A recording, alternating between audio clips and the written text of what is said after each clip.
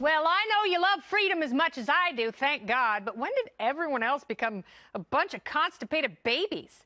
There has been such an unchecked indoctrination for intellectual purity in this country that now anyone who leans outside the sanitary lane of safe feelings is deemed violent and in desperate need of re education and forceful correction.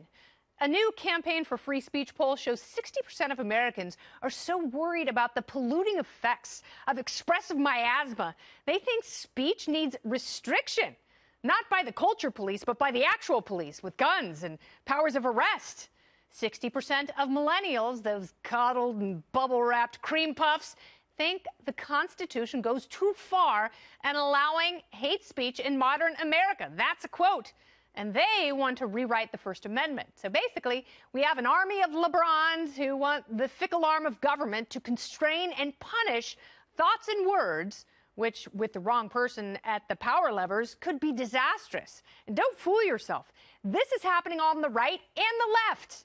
And don't give in when someone you usually agree with starts spouting unconstitutional claptrap.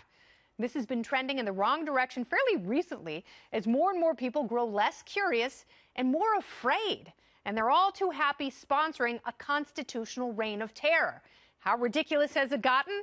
Well, there was recently an anti ICE rally at Harvard, and the student newspaper, The Crimson, called the ICE for a comment, as you do if you're following those pesky rules of journalism and not disseminating fake news. Wrong. People were furious. And they were so mad at the paper, they demanded boycotts and issued petitions claiming cultural insensitivity because the Crimson had the audacity to seek comment from the subject of the story. So, what if the political winds blow your skirt up unfavorably and you end up on the wrong side of the rhetorical guillotine? Emotional restrictionists never ponder the consequences of their oppression.